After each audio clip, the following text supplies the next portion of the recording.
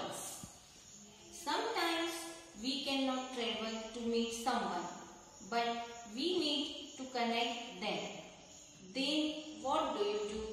We can send letters, talk on a telephone or a mobile. कई बार हमें किसी से मिलने की इच्छा होती है लेकिन हम नहीं मिल पाते हैं तो हम उससे कनेक्ट करने के लिए लेटर मोबाइल या टेलीफोन का यूज़ करते हैं लेकिन पुराने समय में ये पॉसिबल नहीं था, इसलिए लोग हॉर्स या पीसन का यूज़ करते थे। कम दूरी पर जाने के लिए हॉर्स का यूज़ करते थे और अधिक लॉन्ग दूरी पर जाने के लिए पीसन का यूज़ करते थे। लेकिन आज के समय में हम, हमारे मैसेज पहुँचाने के लिए हम ईमेल का यूज़ करके कुछ ही सेकंड में अपने विचार यहाँ से वहाँ आदान प्रदान कर सकते हैं। Message Sending and receiving message is called communication.